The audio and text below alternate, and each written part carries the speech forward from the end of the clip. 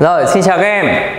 À, ngày hôm nay thì chúng ta sẽ cùng nhau học về cái bài học đó là đồ thị của hàm số bậc 3. Thì uh, ngay bây giờ thì các em uh, cùng ghi bài giúp cho thầy nhá. Bài số 1. Bài 1. À, đồ thị hàm số bậc 3. Hàm số bậc 3. Thì em hiểu là cái hàm số này nó sẽ có cái dạng như sau này cái hàm này nó sẽ có cái dạng là y bằng ax mũ 3 cộng bx bình cộng cx cộng d với cái điều kiện là a khác không. Đó. Như vậy đây chính là cái hàm số bậc 3 của chúng ta. Đúng không ạ? Rồi, thế thì ở đây ấy, các em nhớ này. Vì là cái bây giờ là cái bài toán của chúng ta nó là những cái bài toán trắc nghiệm. Và cái vấn đề chính chúng ta cần phải giải quyết đó là những cái bài toán về nhận dạng đồ thị hàm số. Tuy nhiên, thì để biết được là trong một cái đồ thị, nó có những cái yếu tố gì, thì đầu tiên các em sẽ cùng với thầy làm một cái bài toán này dưới hình thức tự luận trước để chúng ta biết được rằng là à trong cái đồ thị này nó có những cái yếu tố gì mà chúng ta cần chú ý được chưa ạ? Ok. Vậy thì cái mục đầu tiên các em ghi cho thầy đó là khảo sát khảo sát và vẽ đồ thị hàm số. Khảo sát và vẽ đồ thị hàm số. Ờ, ở trên đây thì muốn khảo sát và vẽ đồ thị hàm số thì ở trong sách giáo khoa của các em người ta cũng nói rất là rõ. Thì các em sẽ ghi cho thầy một số các cái quy trình cơ bản nhé à, một số cái quy trình quy trình vẽ này quy trình khảo sát. Bước đầu tiên đó là các em tìm tập xác định.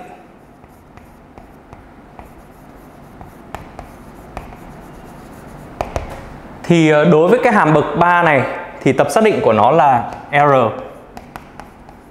Được chưa ạ? Bước số 2 là các em đi tính giới hạn. Tức là các em đi tính lim đấy.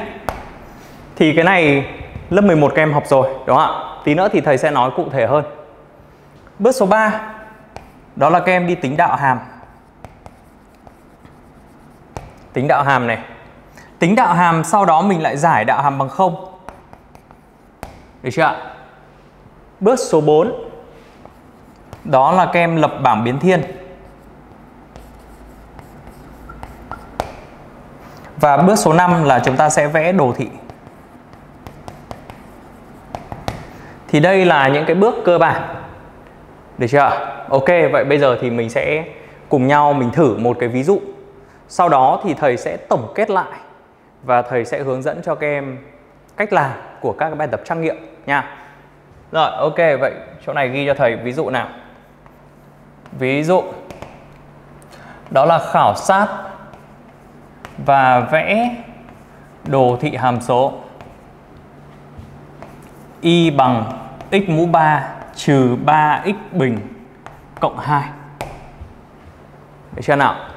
Ok, vậy cứ tuần tự là theo các cái bước này chúng ta sẽ thực hiện. Rồi, trước tiên chúng ta có tập xác định là D bằng R. Thứ hai là em tính lim đúng không? Ở đây chúng ta sẽ có hai cái lim. À, đầu tiên là x tiến đến dương vô cùng của y. Thì em nhớ này, Khi x tiến đến dương vô cùng của y ấy, Thì nó sẽ ra một cái giá trị là vô cùng. Nhưng nó sẽ là dương hay là âm? Thì lớp 11 các em học cái này rất là rõ rồi. Đúng không ạ? Chúng ta thừa biết là cái hệ số này là hệ số dương này, Thì ở đây nó sẽ ra dương vô cùng. Đó. Tức là cái lim này, nó sẽ ra cùng dấu với cả cái hệ số này Nhớ chưa ạ?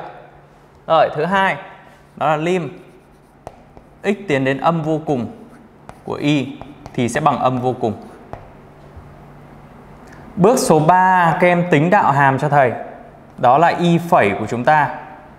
Nó bằng là 3x bình phương trừ đi 6x. Được chưa ạ? Rồi, bây giờ mình giải đạo hàm bằng 0 nha. Đạo hàm bằng 0 thì chúng ta có nghiệm là x bằng 0 hoặc là x bằng 2. Sau khi mà giải đạo hàm bằng 0 rồi thì bây giờ mình sẽ lập bảng biến thiên. Bảng biến thiên. Ở trên đây thì em nhớ này, cái bảng biến thiên này nó sẽ có 3 dòng. Dòng thứ nhất là của x, dòng thứ hai là của y phẩy và dòng thứ ba là của y. Thấy chưa x của mình thì nó sẽ tính trên cái tập xác định, tức là từ âm vô cùng đến dương vô cùng. Ở trên đây nó sẽ có hai nghiệm của đạo hàm đó là 0 và 2.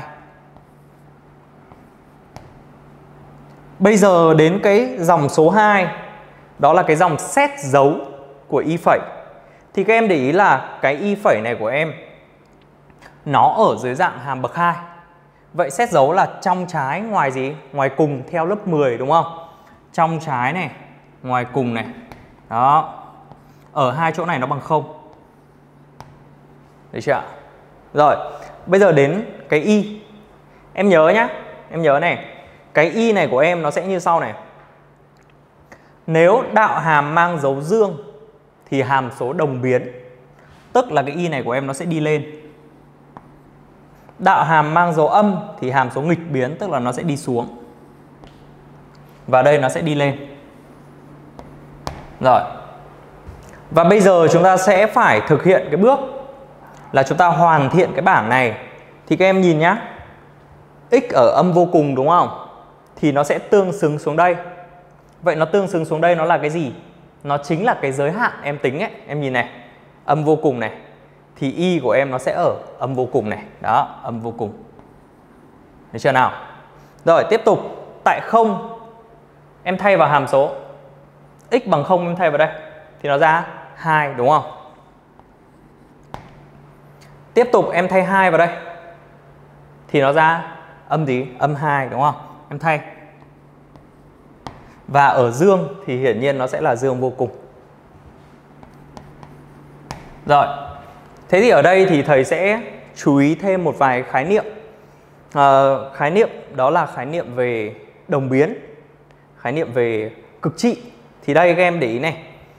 Tạm thời thì mình ờ, sẽ học qua để biết thôi. Còn cụ thể về đồng biến nghịch biến, cực trị như nào thì thầy sẽ có những cái buổi dạy riêng cho các em. Đó, vào trong những cái buổi sắp tới nhá. Ok, vậy em nhớ này, khi đạo hàm của em mà dương thì hàm số sẽ đồng biến tức là nó sẽ đồng biến trên hai khoảng và nó sẽ nghịch biến trên khoảng 0 đến 2 được chưa ạ? Vậy mình có thể kết luận ở đây là gì ạ? Đó là hàm số đồng biến trên khoảng âm vô cùng đến 0 và 2 đến dương vô cùng. Được chưa ạ? 2 đến dương vô cùng. Tiếp tục là hàm số nghịch biến trên 0 đến 2. Đấy là cái đầu tiên về đồng biến nghịch biến. Cái thứ hai đó là về điểm cực trị. Nhớ nhá, điểm cực trị thì đây này. Tại x bằng 0 thì y bằng 2. Thì em thấy cái điểm này ở bên trên. Điểm này ở bên trên thì điểm này được gọi là điểm cực đại. Điểm cực đại x bằng 0 và giá trị y là giá trị giá trị bằng bằng 2 được chưa ạ? Còn tương tự như thế x bằng 2 là điểm cực gì ạ? Tiểu và giá trị cực tiểu là âm âm 2 nhớ chưa ạ? Rồi, nhớ này. Hàm số đạt cực đại cực đại tại x bằng 0 và y cực đại thì bằng 2. Hàm số đạt cực tiểu tại x bằng 2 và y cực tiểu bằng âm 2. Ok chưa? Rồi, như vậy là mình đã xong được ờ, bốn uh, cái bước cơ bản. Đến bây giờ thì mình sẽ vẽ đồ thị. Bước số 5 đó là chúng ta sẽ vẽ đồ thị. Ở trên đây thì các em uh, để ý cho thầy một chút nhé. Bản thân cái bảng biến thiên này này nó chính là cái hình dạng mô phỏng của cái đồ thị. Tức là cái bảng biến thiên nó như này. Thì cái đồ thị của em nó, tí nữa nó cũng sẽ có hình dạng như thế này. Em hiểu chưa? Đấy, cái này nó sẽ mô phỏng đồ thị. Vậy đồ thị này thì chúng ta sẽ vẽ hai trục tọa độ OXY đúng không? Cái này thì các em đã học rất là nhiều ngày xưa rồi. OXY rồi, bây giờ chúng ta muốn vẽ được cái đồ thị này ra thì chúng ta cần phải có những cái điểm đặc biệt, đúng không nào? Vậy chúng ta có sẵn hai điểm đặc biệt nhé. Đó chính là hai điểm cực trị, em thấy không? Hai điểm đặc biệt là hai điểm cực trị. 0 2 2 âm 2 chúng ta lấy lên đây. 0 2 này. 2 này. Âm 2 chúng ta lấy điểm lên đây. Rồi. Như vậy đồ thị của em nó sẽ đi như này đúng không? Đó. Vậy thì bây giờ chắc chắn là chúng ta sẽ cần lấy thêm điểm. Thế thì cái việc lấy thêm điểm là cái việc em tùy chọn thôi. Em tùy chọn. Ví dụ em lấy điểm phía bên này. Em có thể lấy điểm gì tùy em, đúng không? Thầy lấy điểm là điểm âm 1 đi. Âm 1 nào, thay vào ra mấy nào. Đây là âm 1 nhé rồi, đây là gì ạ? Đây là âm 3 đúng không? Âm 1 trừ đi âm 3 cộng với 2 là âm gì? Âm 2 đúng không? Âm 1 ra âm 2 đó. Nó chính là điểm này. Và tiếp tục bên này thì em cũng có thể lấy điểm nữa. Em có thể lấy điểm gì vào đây ạ? Em có thể lấy điểm 3 đúng không? Âm 1 âm 2 này. Điểm 3 ra mấy nào? 3 em thay vào. 3 mũ 3 là 27 27 cộng 2 là 29 đúng không? 29 trừ 27 thì cũng ra gì ạ? Ra 2 đúng không ạ? Đó, em có điểm này. Rồi, đến đây thì mình sẽ vẽ cái đồ thị đi qua bốn cái điểm này là được. Vẽ làm sao để cho nó giống cái hình dạng của bảng biên thiết nhá. Nó sẽ đi từ dưới đi lên này. Vẽ, nhớ này, vẽ đồ thị, vẽ một nét thôi, vẽ một đường thôi, một tay thôi. Đây, nó sẽ đi từ dưới đi lên này. Đến đây nhá, đây là điểm cực trị nhá đến đây nó vòng xuống này.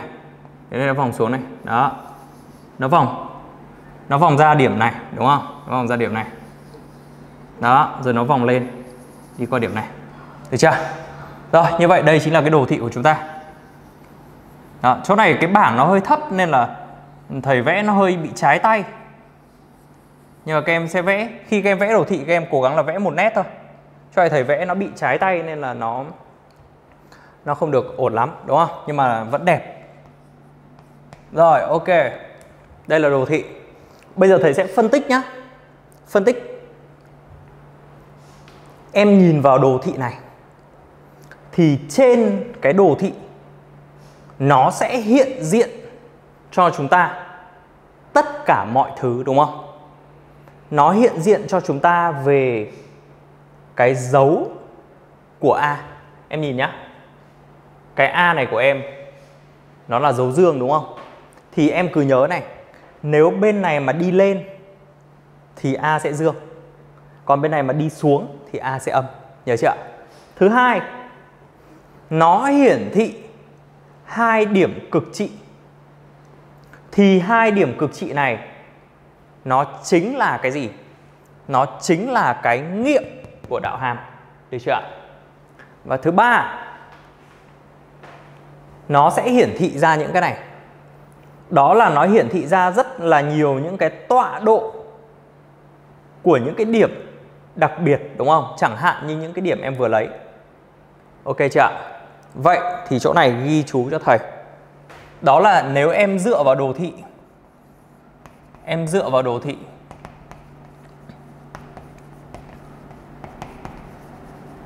thì em sẽ nhìn thấy những cái gì? Em sẽ nhìn thấy hệ số a. Là dương hay là âm, đúng không? Em sẽ nhìn thấy điểm cực trị. Điểm cực trị.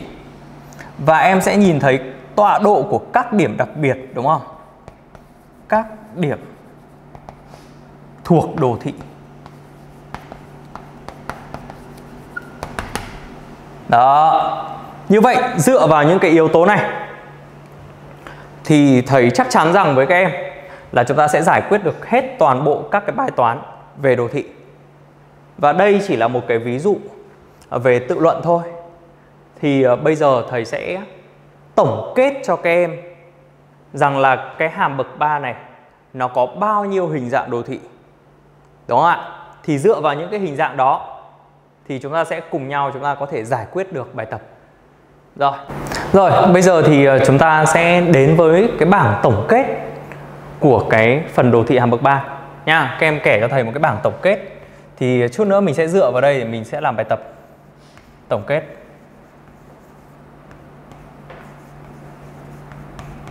Ok. Rồi em chia thầy làm hai cột này. Đối với hệ số A dương và hệ số A âm. Ok chưa ạ? Rồi, bây giờ mình nhớ này. Em có nhớ cái bài toán em vừa khảo sát không? Cái bài toán em vừa khảo sát thì cái hình dạng, cái đồ thị của em nó như này. Đúng chưa?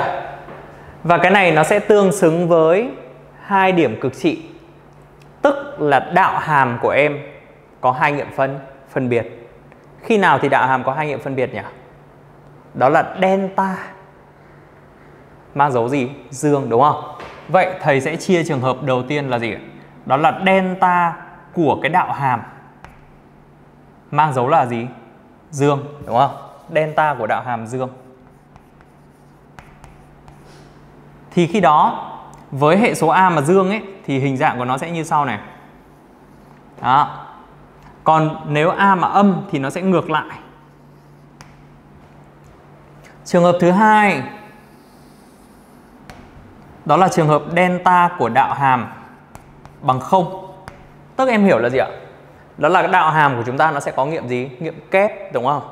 Khi đó, đồ thị nó sẽ có hình dạng như sau này nó sẽ đi lên nhá, nó sẽ đi lên đó, nhưng nhưng ở cái chỗ mà tại cái điểm mà nghiệm của đạo hàm ấy, thì nó sẽ đi là là như thế này một chút này đó, sau đó nó sẽ uốn lên được chưa tức là em hiểu cái cái chỗ này này.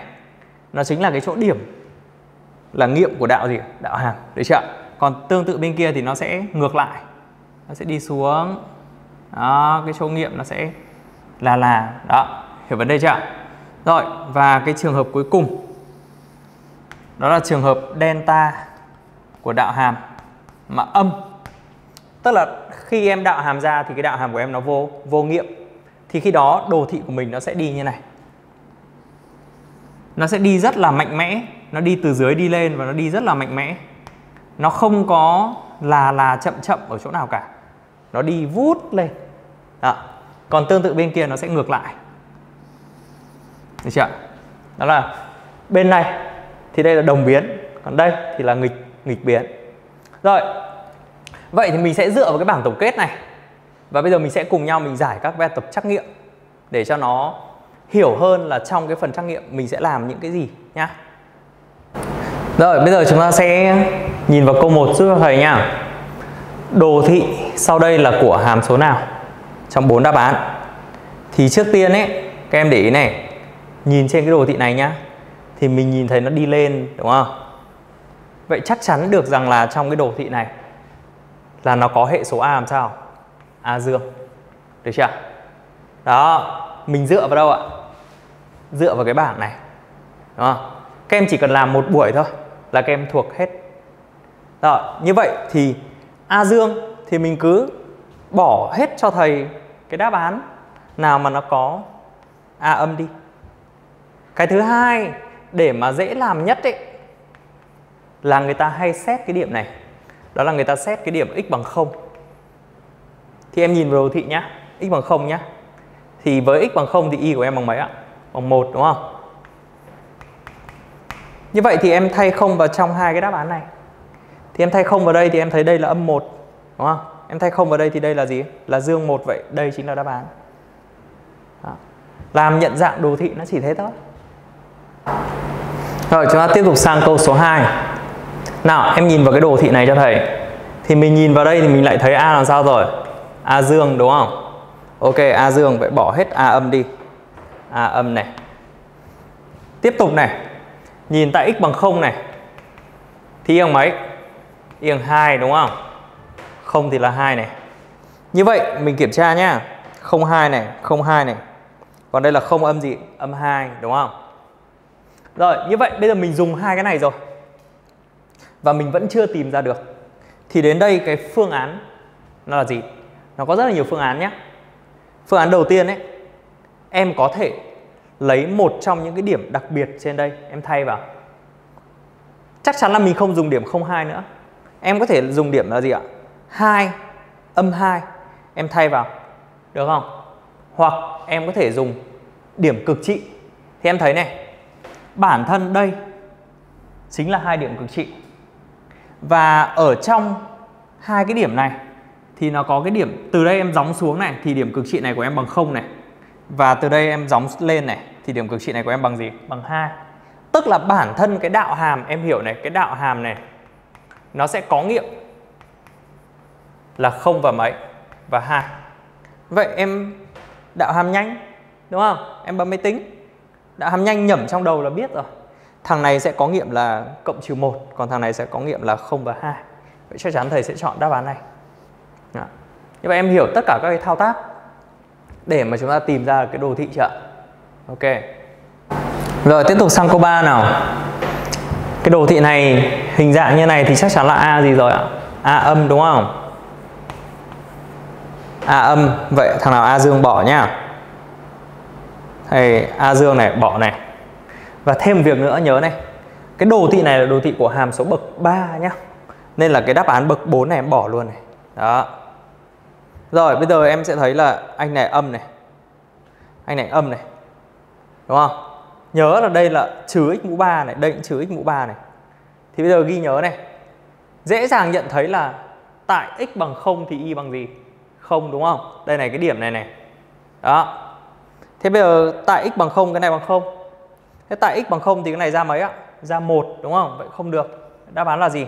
Là D luôn. Đó, cứ thế thôi. Rồi tiếp tục sang câu 4 này. Nhìn vào đây thì lại thấy A gì rồi? A âm đúng không? A âm này. Bây giờ thầy sẽ không viết nữa nhá. A âm này. Bỏ luôn này. Tiếp tục.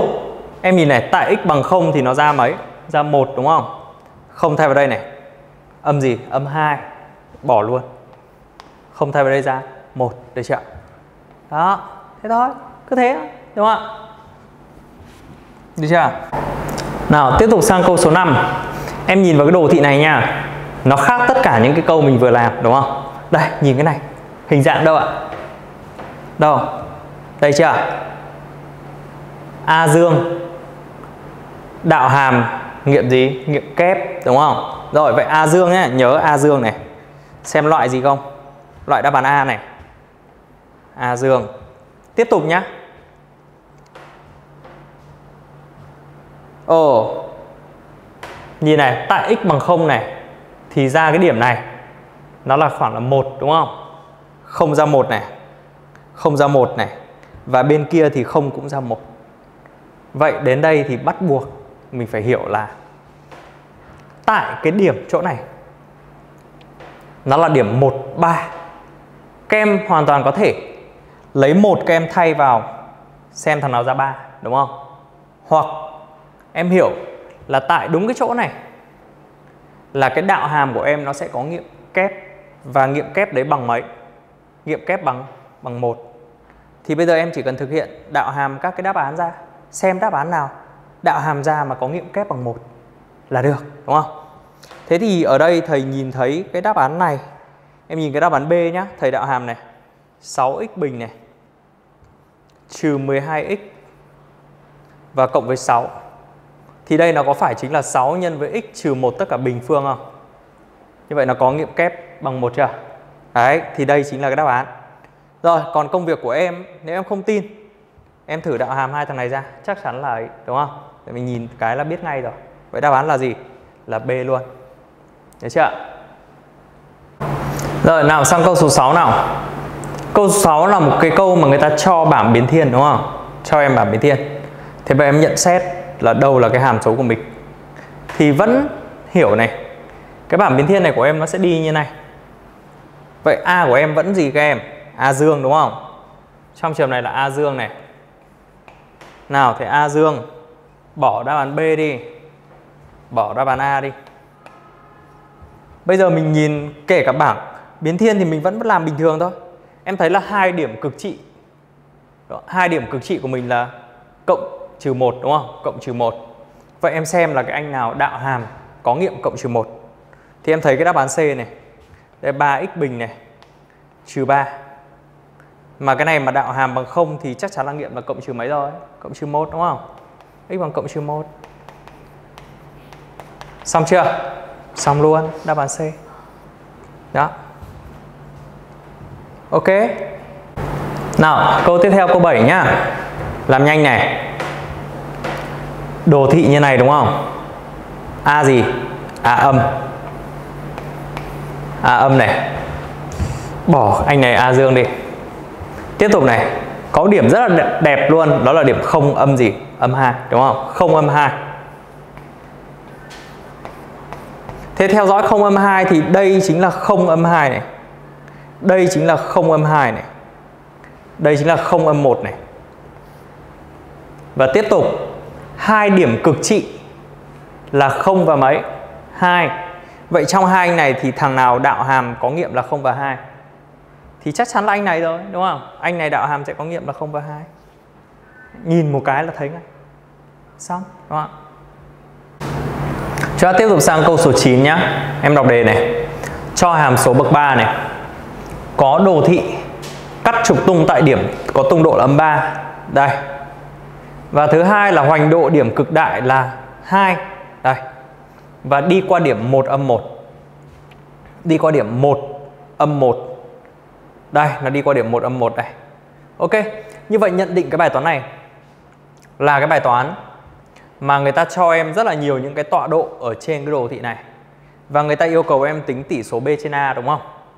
Vậy có thể rằng là đây sẽ là bài toán mà mình phải đi uh, thay số thay các cái tọa độ này vào đây để mình tìm ABCD. Nhưng nhanh trí một chút thì rất là hay này. Em nhìn nhá. Đây là y, bây giờ em đạo hàm thì nó sẽ ra cái gì? đạo hàm nó sẽ ra là 3ax bình cộng 2bx cộng c. Đúng không? Thế thì em nhìn vào cái đồ thị này nó có hai điểm cực trị là điểm 0 và điểm 2, đúng không? Và 0 và 2 đấy chính là nghiệm của cái đạo gì? Đạo hàm. Tức là cái y phẩy này của em mà bằng 0 ấy thì tương đương là x bằng 0 và 2. Và cái người ta bắt mình tính là cái tỷ số B trên A. Thế nó gợi cho các em đến cái kiến thức gì các em còn nhớ không? Đó là định lý vi gì? VS. Nhìn vào đây này. Tổng hai nghiệm là gì? Theo định lý VS, tổng hai nghiệm là trừ B trên A, đúng không? Vậy dựa vào đây thì nó chính là trừ 2B trên 3 gì? 3A. Và hai nghiệm này cộng lại với nhau bằng 2. Vậy từ đây suy ra B trên A Em chỉ cần lấy 2 nhân nhân 3 chia cho âm 2 và kết quả bằng âm gì? Âm 3. Đáp án gì? Đáp C, đúng không? Xong chưa? Đó, nếu tinh ý một chút, giải rất là nhanh. Rồi, tiếp tục câu số 10 nha. Đọc đề này. Ta xác định được các số A, B, C để đồ thị hàm số đi qua điểm 10 đi qua điểm 10 nha và có điểm cực trị là âm 20 thì bây giờ người ta yêu cầu là chúng ta đi tìm ra ABC đúng không? Ok, vậy thì mình sẽ nhận định bài toán này như sau. Ở trên cái đồ thị hàm số này, trên cái hàm số này của chúng ta ấy, là nó đang chứa 3 ẩn là ẩn A, ẩn B, ẩn C. Vậy muốn giải được 3 ẩn ABC chúng ta cần có 3 phương trình đúng không? Vậy như vậy là bây giờ chúng ta sẽ tìm cách để chúng ta đi lập ra hệ phương trình. Vậy thì cái hệ đấy nó là như thế nào? Thì em nghe nhá. Trước tiên, nó đi qua điểm 10 thì em sẽ suy ra được một cái phương trình là gì ạ? Đó là với x bằng 1 thì y bằng 0. Tức là 1 cộng a cộng b cộng c bằng 0 đúng không thứ hai, Điểm cực trị là âm 20 tức là gì? Với x bằng âm 2 thì y của em sẽ bằng bằng 0. Vậy âm 2 vào đây. Âm 8 cộng 4a trừ 2b cộng c bằng 0. Hết rồi. Như vậy là mình mới thấy là gì ạ? Mình vừa nói là mình cần 3 phương trình.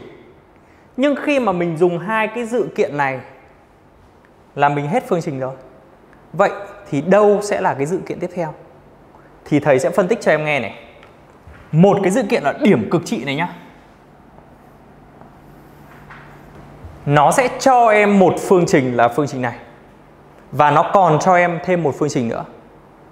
Mình hiểu một điểm cực trị sẽ cho ra hai phương trình. Thế thì phương trình còn lại chính là gì? Đó là cái số âm 2 này này. Nó chính là nghiệm của đạo gì? Đạo hàm. Thế thì mình sẽ đạo hàm nháp ra. 3x bình cộng 2ax cộng b. Thì em hiểu là bản thân cái anh này này mà nó bằng 0 thì nó sẽ có nghiệm là âm gì? Âm 2, tức là x bằng âm 2 chính là nghiệm của đạo hàm. Như vậy từ đây em suy ra. Em thay âm 2 vào. Như vậy nó sẽ là 12 trừ 4a cộng với b thì nó phải bằng gì? Bằng 0. Đến đây thì đây đúng là hệ 3 ẩn 3 phương trình chưa? Đến đây bấm máy tính. Có bấm được không? Chắc chắn bấm được, đúng không ạ? ABC bằng âm gì? Âm 1. Bấm nào. Cái này ai cũng có máy tính để bấm thôi. Bấm hệ 3 ra. 1, 1, 1, trừ 1 này. Tiếp tục này. 4 này. Âm 2 này. 1 này. 8. Tiếp tục. Âm 4. 1, 0. Âm 12. Xong luôn. A bằng 3. B bằng 0. Và C bằng âm 4. Như này là đủ chưa? Quá là đủ rồi đúng không? Vậy A bình cộng B bình cộng C bình tính đi. Nhẩm ra hai gì? 25. Được chưa các em? Hiểu cách giải quyết bài toán đi tìm ABC bằng cách lập hệ chưa? Rồi, tiếp theo câu số 11 nào. Đồ thị hàm số có hai điểm cực trị. Hai điểm cực trị nhé, nhớ ấy. Thế bây giờ em nhìn vào đây ấy, thì em thấy là mấy ẩn? 4 ẩn đúng không? A, B, C, D. Vậy 4 ẩn là cần 4 phương trình. Được chưa Rồi, thế thì 4 phương trình đâu? Thì em nhớ này, vừa nãy thầy có phân tích cho em ở trong cái bài trước ấy. Đó là điểm cực trị. Thì mỗi một điểm nó sẽ cho ra hai phương trình. Như vậy hai điểm nó sẽ cho ra bốn phương trình. Thế công việc đầu tiên, trước tiên mình cứ đạo hàm cho thầy trước, đúng không? Đạo hàm cho thầy trước. 3ax bình cộng 2bx cộng c. Rồi, thế bây giờ mình bắt đầu mình thay này. Thứ nhất là 1 7 này, 1 âm 7 này. Thì em được cái gì? Đó là A cộng B cộng C cộng D thì bằng âm 7. Thứ hai là 2 âm 8 này. Thay vào được cái gì? Đó là 2 thì ra âm 8, vậy 2 thay vào là 8A này.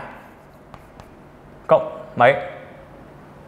4B cộng 2C cộng D thì bằng âm 8. Và bây giờ mình thấy là hai cái điểm cực trị đó là điểm 1 và 2. Thì bản thân cái đạo hàm này của em nó sẽ có nghiệm là 1 và 2. Như vậy ở đây em sẽ có thêm hai phương trình nữa. Đó là x bằng 1 là nghiệm đúng không? x bằng 1 là nghiệm. Thì em sẽ có là 3a cộng 2b cộng c bằng 0. Và x bằng 2 cũng sẽ là nghiệm của đạo hàm. Thì khi đó em sẽ có 12a cộng 4b cộng c bằng 0. Đến đây thì đây là hệ 4 ẩn 4 phương trình. Nếu mà chúng ta có cái máy 580 nhớ nhá. Nếu chúng ta có cái máy 580 thì chúng ta sẽ bấm được luôn. Còn nếu mà chúng ta chưa có máy 580 chúng ta có thể mua, đúng không? Còn nếu mà chúng ta không mua thì chúng ta vẫn có thể giải được bằng cách là em đưa về hệ 3 em lấy hai cái này trừ nhau thì nó sẽ mất D đi đúng không Vậy nếu mà thầy lấy cái cái số 2 này mà trừ đi cái số 1 nhé thì khi đó em sẽ được cái gì nào? Nếu lấy cái số 2 trừ đi cái số 1 em còn 7 gì ạ? 7A cộng 3B cộng C thì bằng âm âm 1 đúng không? Và em dùng thêm cái số 3 và cái số 4 vào đây. Đó, thì khi đó em sẽ bấm nhá. Đây là 1 này, 2 này, 3 này, 4. Đúng chưa? Chỗ này thì thầy sẽ không viết thêm nữa. Chúng ta sẽ bấm luôn. Nào, mọi người thì lấy máy tính ra bấm. Đầu tiên là 7, 3, 1 trừ 1 này. 3, 2, 1, 0 này. 12, 4, 1, 0 này. Rồi, có luôn. A của em bằng 2. B bằng âm 9. C bằng 12. Bây giờ mình sẽ lấy ba cái giá trị này. Mình thay vào đây. Thì mình sẽ được cái gì? Được cái D đúng không? Vậy D của em sẽ bằng là gì nào? Âm 7 này trừ 2 cộng 9 trừ 12. Vậy D của em bằng âm 12. Tức là mình lấy ABC ở đây này. Mình thay vào cái phương trình số 1 đầu tiên thì mình sẽ tìm được D. Vậy cái hàm số của em bây giờ nó là gì? Nó sẽ là 2x mũ 3 trừ 9x bình cộng 12x trừ 12. Và người ta yêu cầu em tính y tại âm 1 thì em thay âm 1 vào đây. Đó, thay âm 1. Thay dễ dàng rồi. 2x mũ 3 này trừ 9x bình cộng 12x trừ 12 em thay âm 1 vào thì nó bằng âm 35. Đáp án D. Hiểu chưa? Đấy, như vậy là những cái bài toán như này là làm quá tốt rồi. Bây giờ mình sẽ tiếp tục sang câu số 12 nhá. Em nhớ này, cái dạng câu hỏi của số 12 này nó là cái dạng mà mình sẽ nhận định dấu của các cái hệ số ABCD ở trên cái đồ thị như này. Được chưa ạ? Thì uh, cái cái dạng câu hỏi mà nhận định dấu của hệ số này là cái dạng câu hỏi khó nhất cuối cùng ở trong cái phần uh, đồ thị hàm bậc 3 này. Thì uh, mình cũng dễ dàng là mình có thể làm được ngay thôi. Thì trước tiên mình nhìn vào cái đồ thị này thì mình sẽ nhận thấy luôn là hệ số A của em làm sao? Bị âm, đúng không?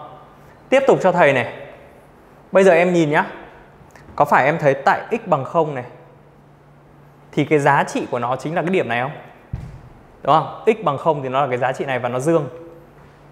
Vậy em nhìn em thay x bằng 0 vào đây. Thì có phải là y của em nó chỉ bằng d thôi đúng không? Và d của em sẽ là số gì? Số dương. Được chưa ạ? Rồi, thế bây giờ cái khó nhất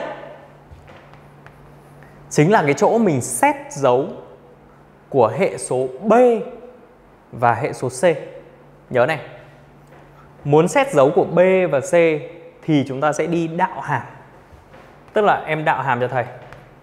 3ax bình cộng 2bx cộng c. Và chú ý một điều. Cái đạo hàm này nó sẽ liên quan đến điểm cực trị đúng không nào? Nhìn vào đồ thị này thì có phải hai điểm cực trị chính là điểm x1 và điểm x2 không? Em có nhận xét gì cho hai cái điểm này? Đều mang giá trị gì các em? Dương. Vậy x1 cộng x2 theo VS thì nó chính là trừ 2b trên 3a và nó sẽ mang dấu là dương bởi vì hai nghiệm cùng cùng dương. Thế tuy nhiên mình thấy vì là a của em là âm rồi. Vì a âm nên là trừ 2b của em cũng sẽ làm sao? Cũng sẽ âm, đúng không? Từ đây em suy ra b của em sẽ làm sao? Dương. Tiếp tục tương tự như thế, x1 nhân x2 theo định lý VS nó sẽ là C chia 3A đúng không?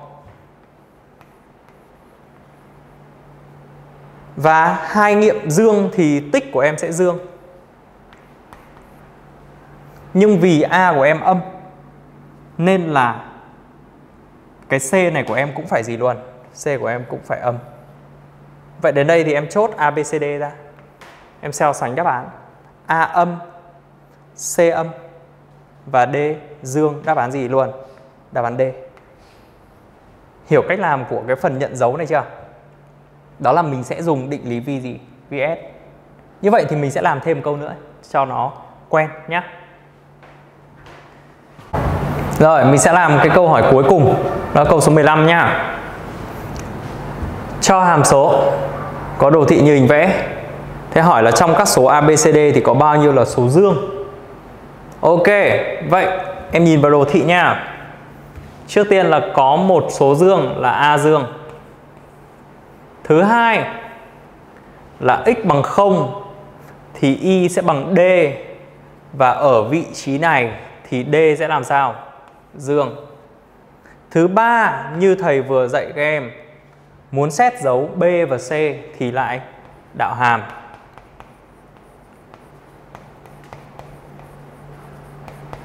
Rồi, thế bây giờ kiểm tra nghiệm x1 cộng x2 xem là dương hay âm nhá. Thế thì nó sẽ phụ thuộc vào hai cái điểm cực trị này. Đây. x1 này. Đây x2. Thế thì chúng ta thấy là x1 âm và x2 dương. Nhưng mà cái khoảng âm này nó sẽ ngắn hơn khoảng dương. Vậy chắc chắn là tổng cộng lại với nhau sẽ thành gì? Dương, đúng không? Dương. Nhưng mà mình thấy là A của mình là dương rồi. Vậy mẫu dương thì tử cũng phải dương. Tức là trừ 2B dương, trừ 2B dương thì B bị gì các em? B bị âm, đúng không? Trừ 2B dương thì B phải âm. Tiếp tục x1 nhân x2. Thì trong trường hợp này nó sẽ là C trên 3A. Và em thấy là một nghiệm âm và một nghiệm dương thì tích của chúng sẽ bị gì? Sẽ bị âm, đúng không? A dương thì C sẽ phải âm. Rồi, kiểm tra đáp án nào. Có mấy số dương nào? Có A và D dương thôi, đúng không? Vậy có hai số dương. Đó. Thì các em thấy này, bản thân cái câu số 15 này chính là một câu trong đề thi đại học. Đó, nó khoảng tầm câu 40 rồi. Em làm rất là nhanh, rất là dễ đúng không? Rồi, thế bây giờ thì các em sẽ dựa vào những kiến thức đó để làm bài tập về nhà. Xin chào các em.